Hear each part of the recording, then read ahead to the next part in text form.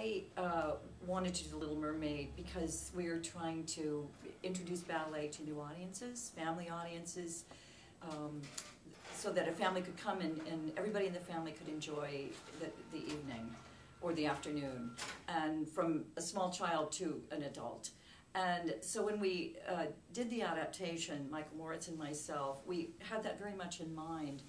The, the length of it, it's, it's um, short, 70 minutes, uh, for a whole experience. And also it um, has pathos and it has humor and, uh, you know, fantastic costumes and um, it's just really, I think, a very entertaining experience for the audience. And it, it has, you know, it's moving, but it, it, it has a happy ending. My version is happy. I I felt like I felt the characters in the story are the same characters that we have in our world.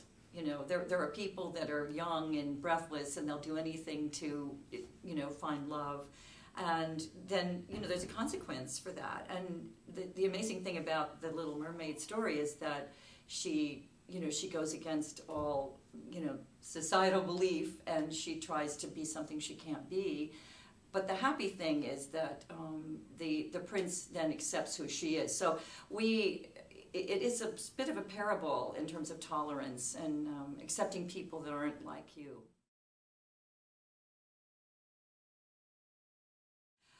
I, am very drawn to stories that um, that where you can watch people work things out, and I think storytelling in through dance is um, just something that I've always loved and, and that I love doing because um, I, you know, I didn't come strictly from a classical ballet background. I came from a theater background. So slowly along the way, the two, you know, dance and theater blended for me. And I think it, it can actually affect people, and that's what's exciting about it.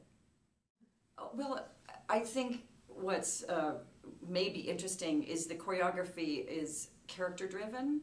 So the Sea Witch for instance, moves in a very different way than the mermaid. And, you know, it's not that we're trying to simulate swimming, but using the vocabulary of dance, you know, each character kind of has a special language, each of the central characters.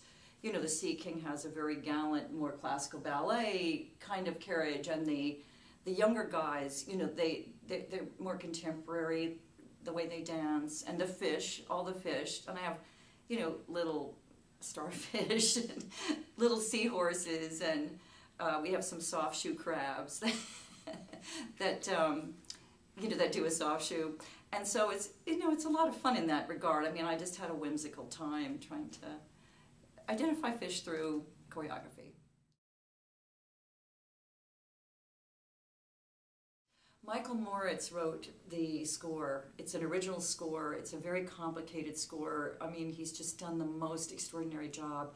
And he writes, uh, we, we kind of set out to write a film score. In other words, it's very expressive of what's happening. It's not just sort of a happy part or a sad part, but we would talk about what was going on so that it would be almost like post-scoring a movie, the way that John Williams does, for instance. And we felt that would be um, an interesting experience, at a different kind of experience for the audience. And also, we have narration. We have a wonderful narrator um, on tape, um, just like a movie score sometimes has.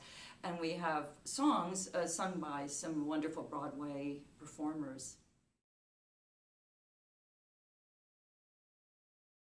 It, it's sort of uh, all fairy tales are profound on a certain level, but also are very entertaining on another level. So you know, I think people, anybody can come to this without having to understand anything. You know, they can just receive it like you do when you go see a movie. You know, just you don't expect to be an expert. If you know, in the Wild West, if you're going to see a western, you just accept what is coming at you and translate it, and that's what people can do. Just come and enjoy it.